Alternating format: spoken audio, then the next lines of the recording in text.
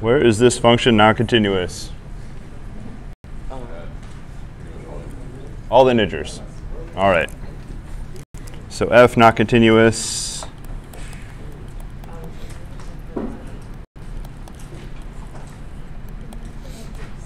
So we could write it like this. x is not continuous for x in the integers.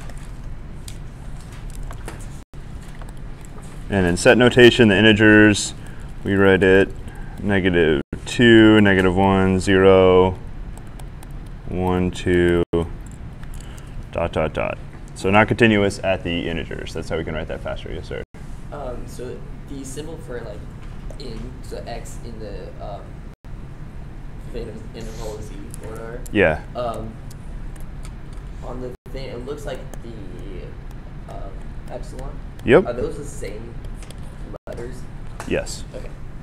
they are. Uh, and there's two ways you will see epsilon written in your, if you read your textbook, it's written like this. And that's the way I write it in a limit. And when I write it to mean is an element of, I write it in this other form, which is a little more, there's one that looks like a backwards three and the other one, I write it like this. It doesn't have that little indent in it. So it's just context. They are, yeah, they are the same letter, Okay. just written differently. One of them may be a capital and the other might be a lowercase. I'm not sure. You can look that up. I don't know if it's just uh, writing them differently.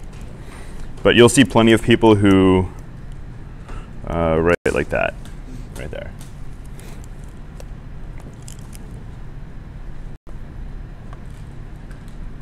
All right, so it's not continuous at all the integers.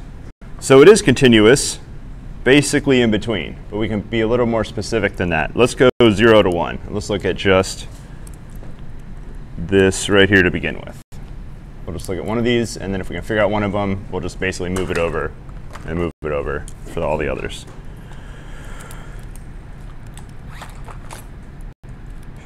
So I think we can say pretty clearly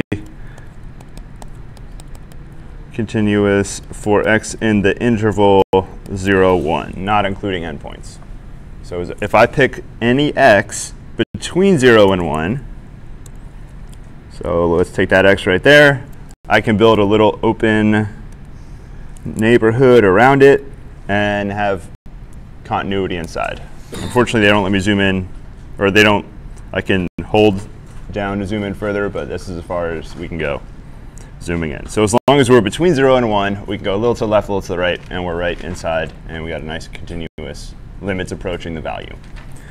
So the question is, can I include either or neither of the endpoints? So is one and or both endpoints possible to include in the interval? So let's look on the left side first. And I'm going to delete that little green point. Let's redraw that green point right here. Is x equals 0 if I include 0 in here, that would close it off. Is that okay to do? So what do I need? Do I need full continuity at 0? Or do I only need one side continuity? So I only need one side continuity if I'm going to talk about continuous on, uh, if I close that. So are we right, if I look to the right, is our function continuous at 0? So I'm allowed to go to the right and be continuous. So our function is right continuous at 0.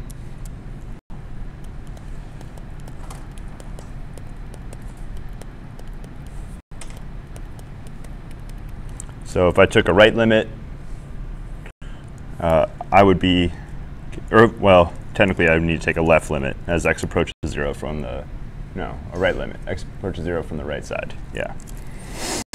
So we are right continuous at x equals 0. That allows me to include 0 inside our interval. So it's OK to have 0 in there. So we'll just clean that up. So we basically closed off the interval on the left side.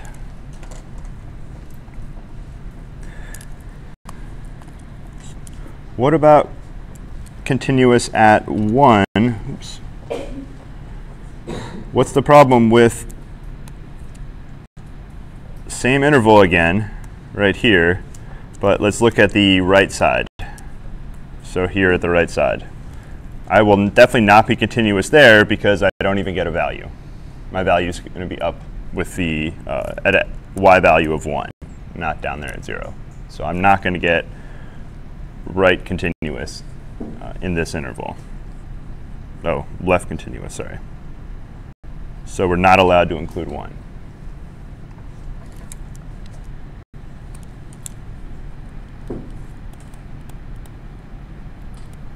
So we cannot include x equals 1 in the interval. So any questions about closing at 0 and not closing it off at 1? It should basically match the picture. You can see the half open, half closed intervals right here. And then all we need to do is just move it over 1, and then move it over 2, 3, 4, 5, etc. So we're just going to take uh, that same interval and just slide it over one each direction.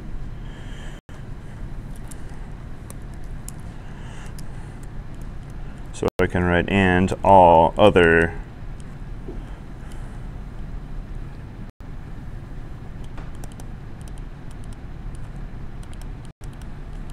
similar intervals. Now I have to be a little more precise in math. I can't just say all, over, all other similar intervals and leave it at that. So what do the other similar intervals look like? They're all going to basically look like this. Close on the left side, open on the right side. And then let's use the letter, I think we use k in pre-calculus. So let's go with k comma k plus 1. And as long as k is an integer, we already showed this was good, or this was true when k was 0. We got 0 to 1. And then when k is 1, we'll go 1 to 2, k is 2, 2 to 3, etc., etc. And of course, we want to union a lot of these together. So the way we do this, it's going to look a lot like that summation notation. We write a big U, and we just write k is in the integers. And this says union up all the intervals that look like this for every integer k. And we can write this out. It'll be infinite in positive and negative directions. So it's going to look like negative 1 to 0, union 0 to 1, union 1 to 2, union dot dot dot.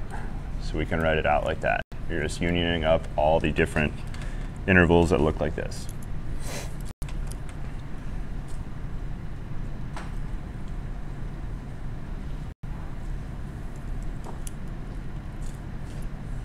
And it looks like we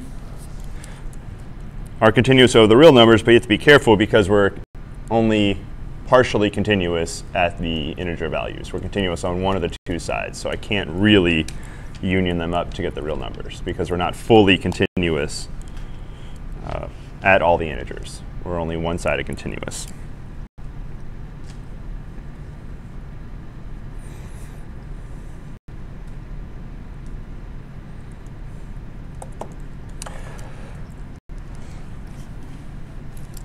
So we have a continuity theorem. So these are properties of continuous functions.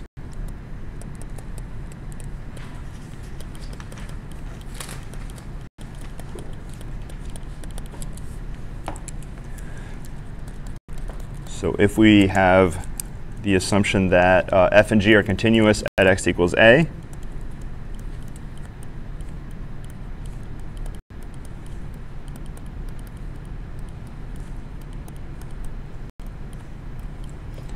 to get a lot of conclusions if we add f and g together. That is continuous. f minus g is continuous. Now we write plus, maybe I should be a little more specific. When I write plus, if you add two functions together, this is f of x plus g of x. And subtraction, f minus g is fx minus gx. And multiplication. It's a little tricky if you write FG together because sometimes you might mean composition. So we just write a small dot right there in between. That'll be multiplication. So we mean f of x times g of x. And the quotient. And just like anytime we're dividing, you have to make sure that the g of x is not uh, equal to 0 at x equals a.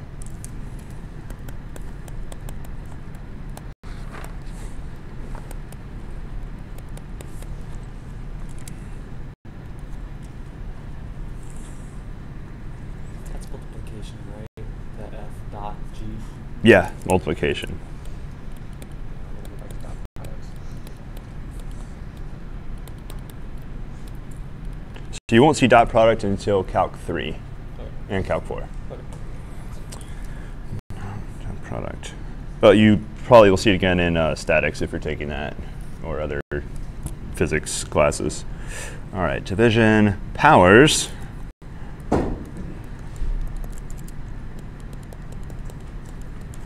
So nth power when f of a to the n power is a real number. So just like before, if you would take a square root of a negative value, that's not going to be real, so it wouldn't make sense for that to be continuous. Now, if you notice the conditions I'm putting on here, I just said g of a didn't have to equal 0. Well, what happens if you have a limit? What happens if g had a limit of 0? We assume g is continuous, so that meant the limit would also be the value. So on the assumption that they're continuous, your limit is your value. So I don't have to write down the value is not 0 and the limit's not 0 because they're equal. So if I just say a limit is not 0, so if your limit's not your value is not 0, that would mean your limit also has to not be 0 because it had to agree. So I don't need to put conditions for both the value and the limit. Because they're equal, I just write down one of the two.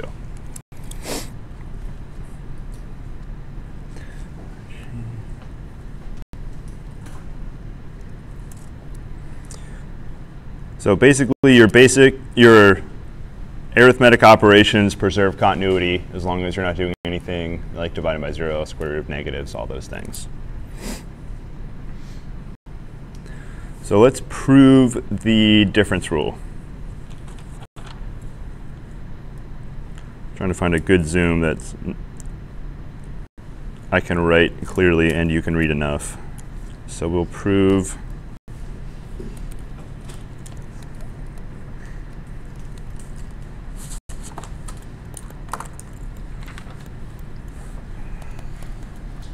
So we're going to prove the difference is continuous. So we're going to start by supposing. So we're starting with the hypothesis f and g are continuous at x equals a.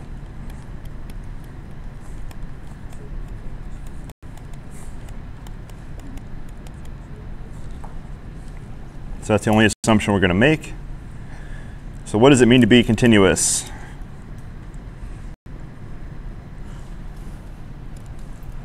So we're going to look at what does it mean for f to be continuous at x equals a. What does continuous mean?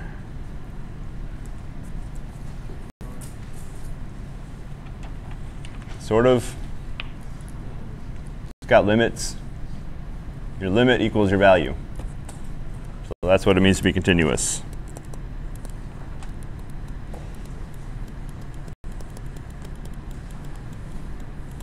And of course, G is very similar.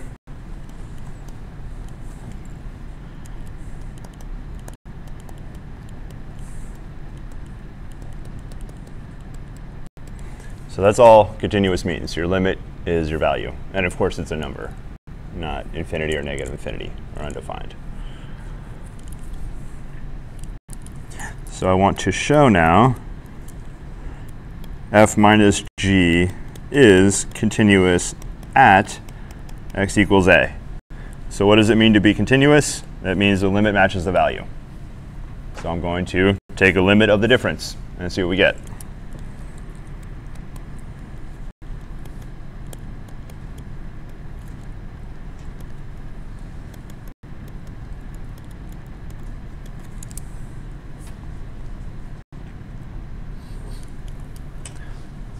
I'm going to use the limit law of differences. So we saw that we can split up the limit over subtraction as long as both limits separately exist.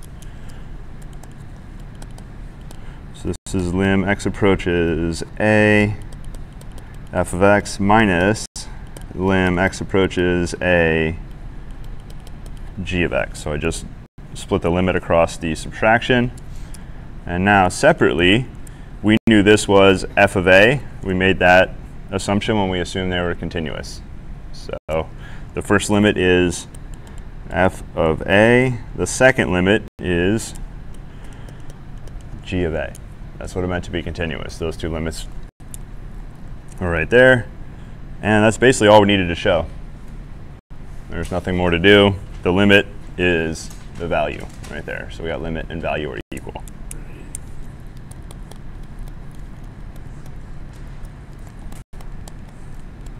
The other ones work almost exactly the same. You're just going to use the corresponding limit laws for powers, addition, multiplication, etc. So they're not really worth doing. Nothing different happens.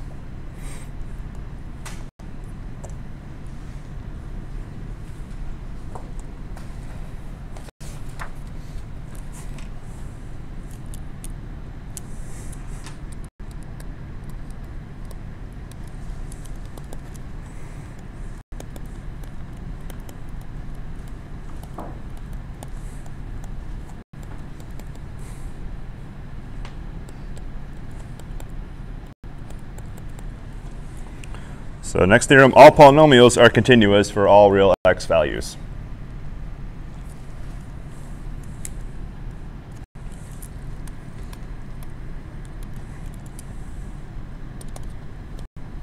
So we'll prove this one. Let p of x be a polynomial.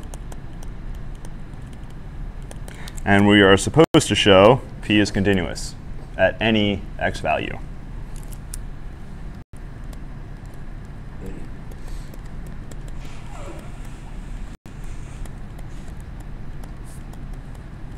So we'll take any real number.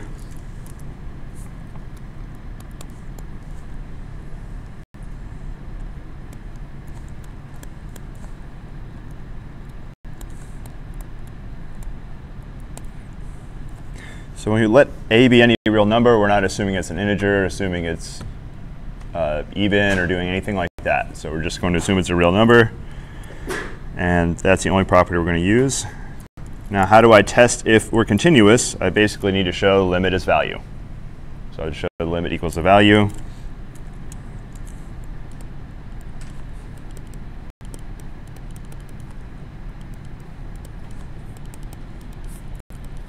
Why is this already true?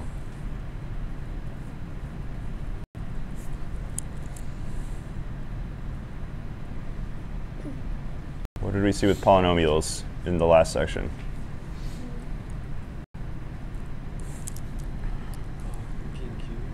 Two sections ago, three sections ago. Oh, it was a long time ago. Somewhere. Here we go. Limit is value when you have a polynomial. So that was pretty easy to do then. There wasn't much going on. So just using what's in the box right there. If you got a polynomial, your limit is your value.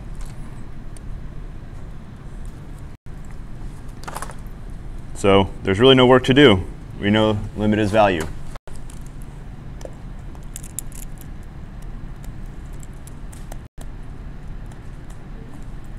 So this is by theorem in 2.2. And we're done. So we know we're allowed to already plug in the value.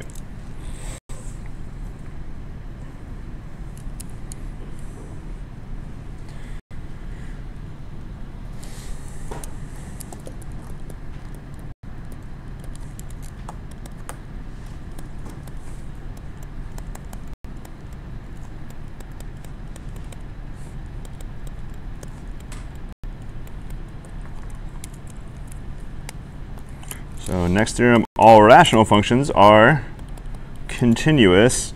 Now, do you think all rational functions are continuous for all x values in the real numbers?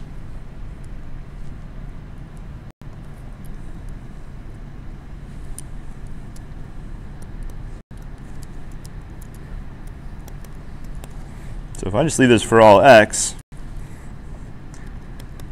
let's take a really easy example. Here's the easiest rational function I can think of that's worth writing down. Is that continuous everywhere for all x's?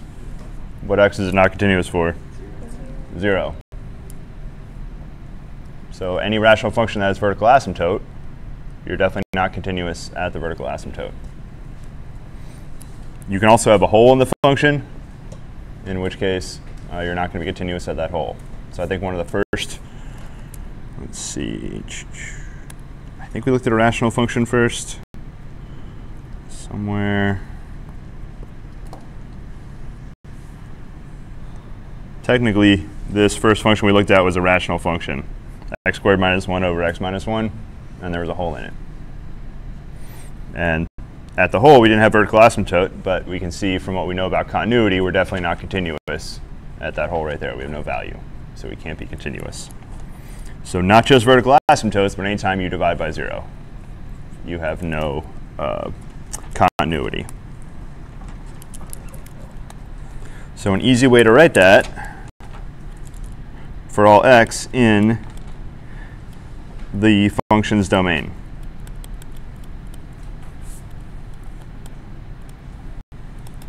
So if you're in the domain, that would mean your function is defined at that value. So it's enough to just say if you're in the domain, then you're going to be continuous if you have a rational function.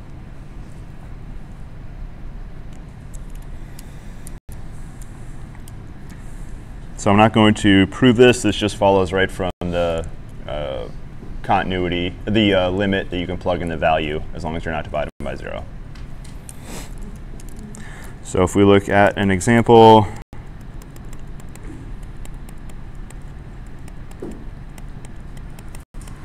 this one's already nicely factored.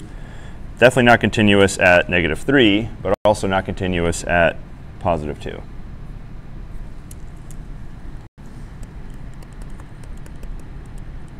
So not continuous at x equals 2 and x equals negative 3.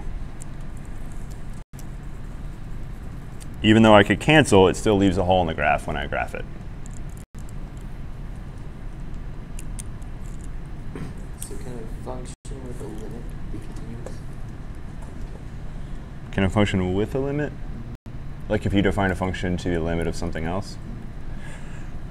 Uh, yeah, it would depend on what the specifics of the function.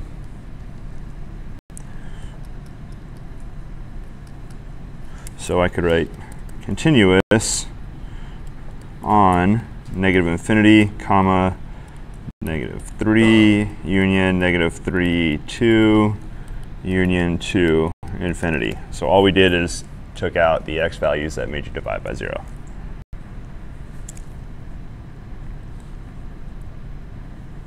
So that is rational functions and polynomials.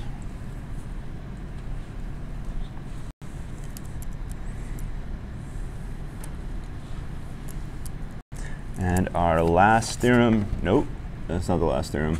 We got one more, two more pages. All right. Next theorem, composition of continuous functions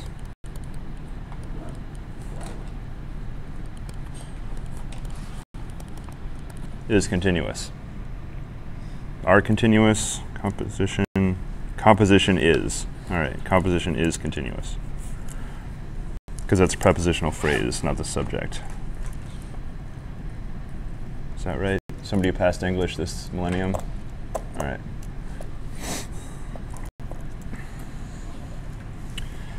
And we are not going to prove this one. We'll just believe it. So I'm not going to show the proof for this.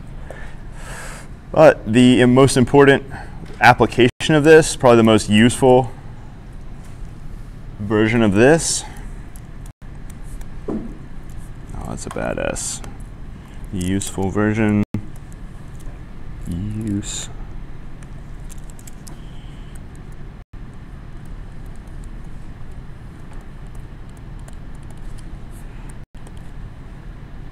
Oh.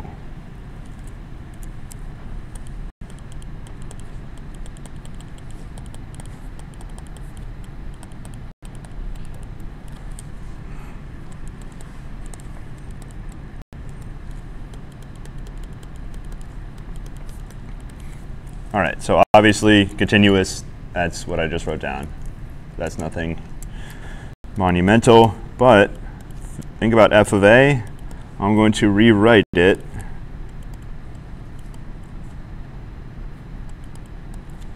like this.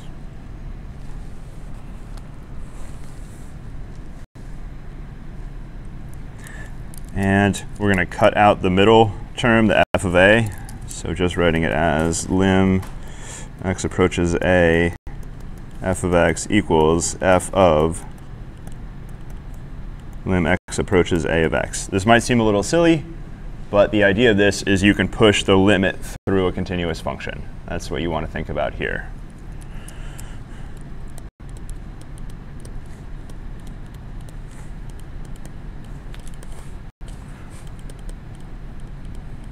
So the limit is a through any function that is continuous at x equals a. So you can push the limit through a function if it's continuous at x equals a.